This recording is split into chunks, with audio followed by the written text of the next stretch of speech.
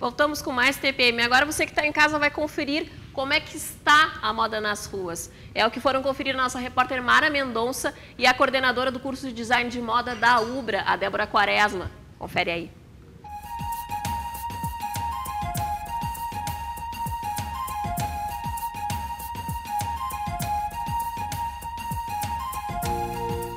Claudinha, hoje a gente está aqui no centro de Canoas e a gente vai dar uma olhada nos looks das gurias, o que, que elas estão vestindo, tá? E para isso a gente convidou a Débora Quaresma, que é coordenadora do curso de design de moda da Ubra. Oi, Débora.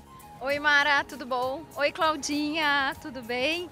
Então, vamos começar a dar uma olhada aqui. Estamos no centro de Canoas, né? E vamos olhar essa moda mais urbana e o pessoal, e principalmente as mulheres que transitam por aqui. Vamos dar algumas sugestões e algumas dicas de moda. Isso aí. Vamos junto?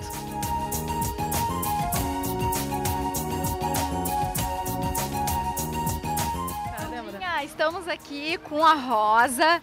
A Rosa está super bem dentro do modelito né? Uma calça saruel com uma blusa mais justinha, uma estampa de animal, de tigrinho, de oncinha, que, tá, que é super tendência, que está em alta. E uh, além do decote, valoriza bastante teu colo, que é bonito, né? E, e também o sapato da, da Rosa também é, é, um sapato também que é, ele não é muito alto, mas ele tem um saltinho e ele acaba também valorizando mais o teu corpo, deixando é um pouquinho mais alta e mais esbelta também. A cor dele também é um tom neutro e que entra dentro de acordo com essa tua estampa. Uh, os teus acessórios também, eles uh, não estão brigando muito, digamos assim, com o, com o visual no geral, né? E tu está super bem, Rosa, com óculos também, bem moderno, uma bolsa também. Tá super bem, parabéns. Então tá, Rosa, muito obrigada.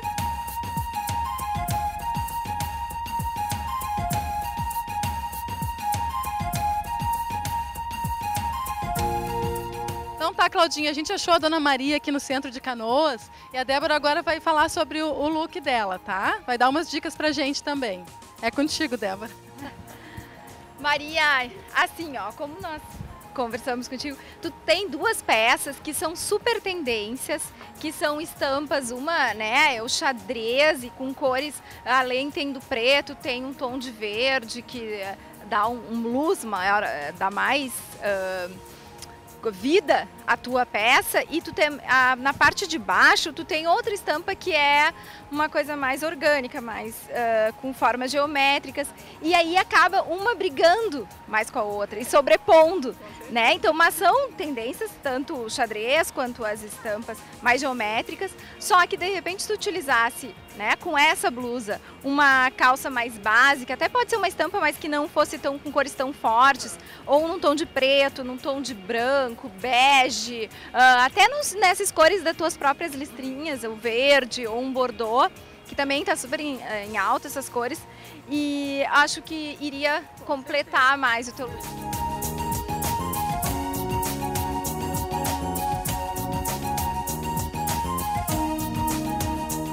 estava ciente disso, eu estava ciente. É, e pra tu sair lindona por aí, porque tu tem estilo, uhum. né? Tu tá com uma bota também super moderna também, uh, baixinha, mas também com cano alto, que tu pode utilizar com essa tua blusa, né? Que é um cachemir, parece, uh, com essa... Ainda mais amarrar aqui, tu pode também amarrar, dar um lacinho e até utilizar uns outros acessórios junto também que vai completar mais. Valeu, Acho que é isso aí, Mara.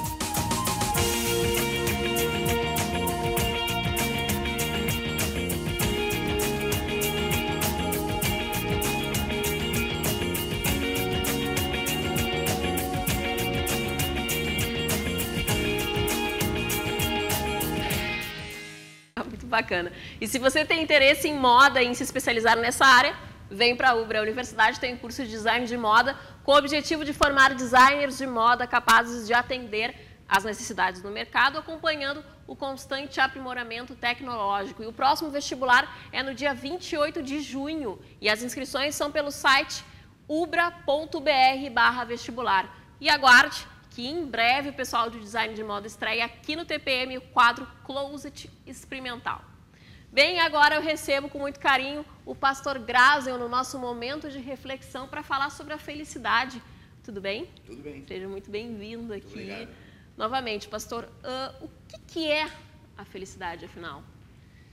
Bem, o primeiro comentário que eu quero fazer é que eu tenho que cuidar para, ao falar sobre um tema tão complexo como esse, não faça uma cara de infeliz, né? Porque às vezes a gente está muito falando sobre um tema e eu, eu sei que é, é até é uma coisa minha, às vezes faço uma cara de sério que parece que não tem felicidade. Aí, por sinal, isso me leva a uma, a uma minha história.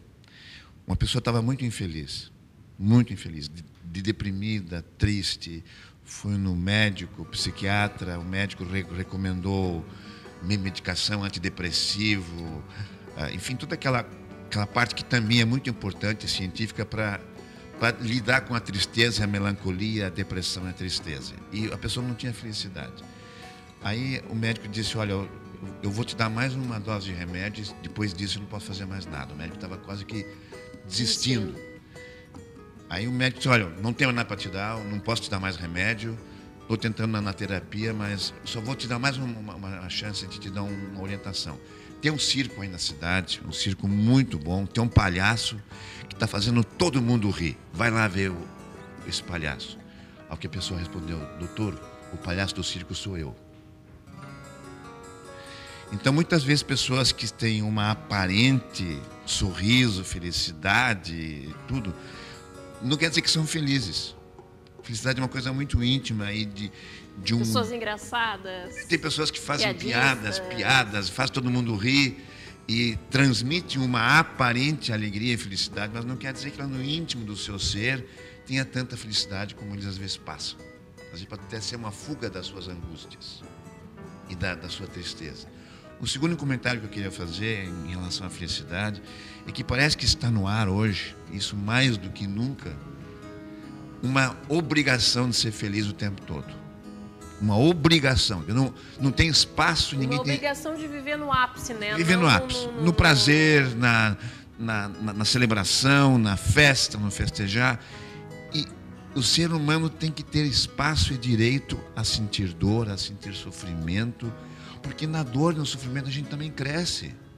Amadurece. Muito mais do que na felicidade. Muito mais do que na felicidade. Me parece que essa questão da droga de hoje, essa, essa drogadição, essa busca da droga, tem um pouco a ver com isso, reflete isso. A pessoa sempre tá, tem que estar tá numa boa, tem que estar tá feliz.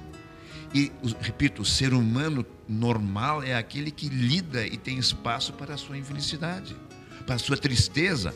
Eu não estou querendo propor, lógico, uma, uma filosofia de sofrenildo, vou sofrer, vou querer buscar o sofrimento. Não, mas eu tenho que aprender a lidar com o meu sofrimento, com a minha tristeza e as minhas decepções e desilusões da vida. Isso faz parte da vida, sempre foi e será.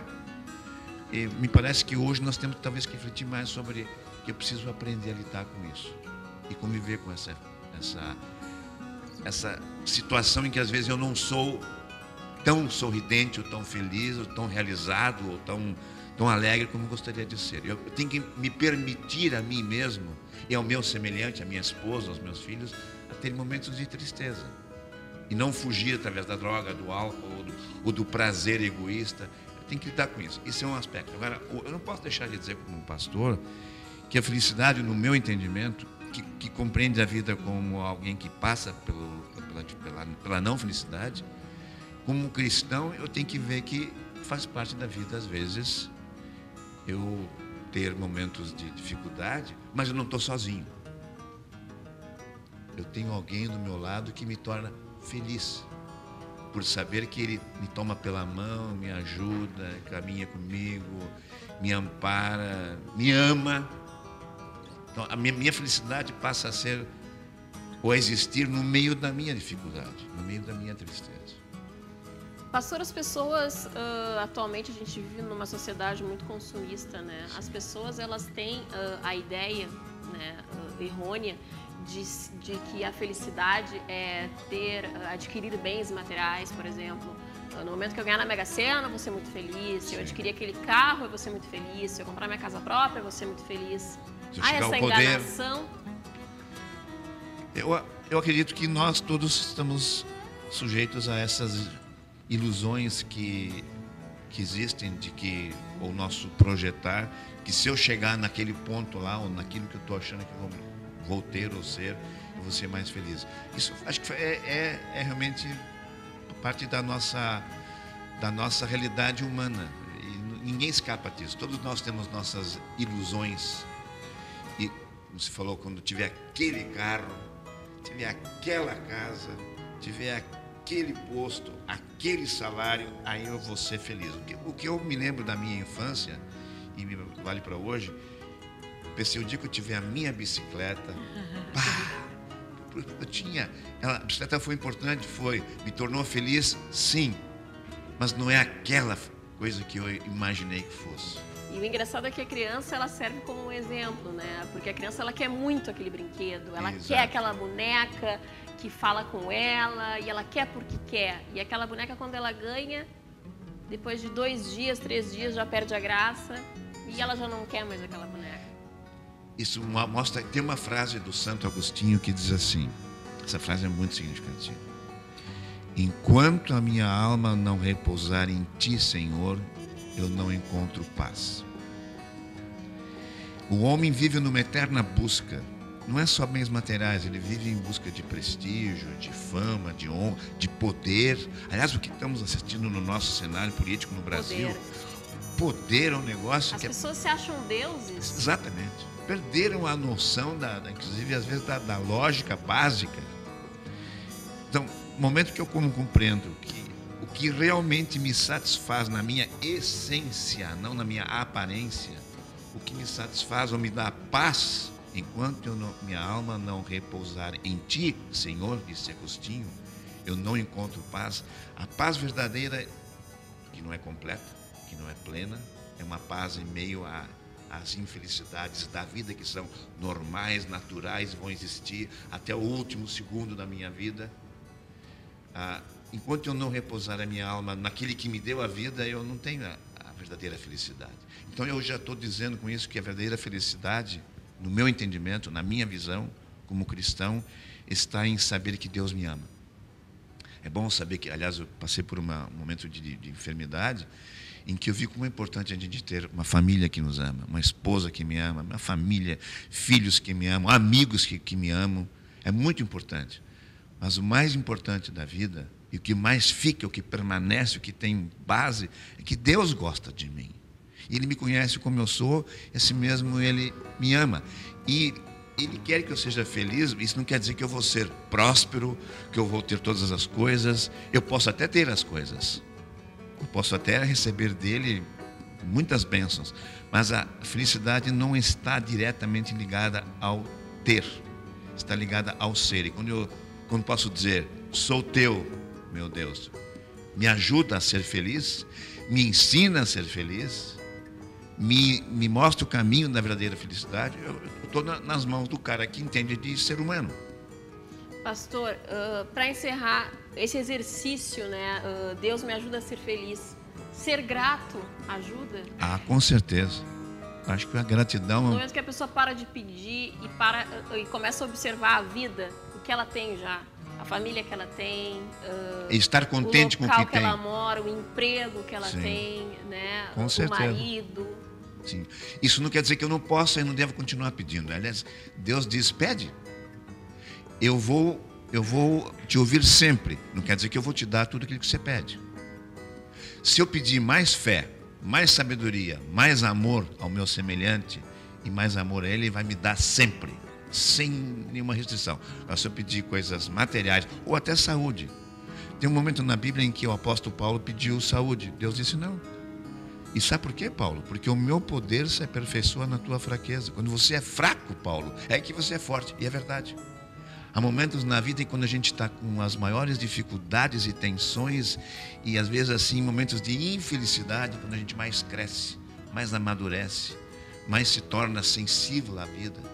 Então, às vezes a, a, vida boa, a vida, a vida leve, a vida assim de fartura, nem sempre é o melhor caminho para a gente crescer como ser humano. Não estou propondo uma, uma filosofia de sofrenildo.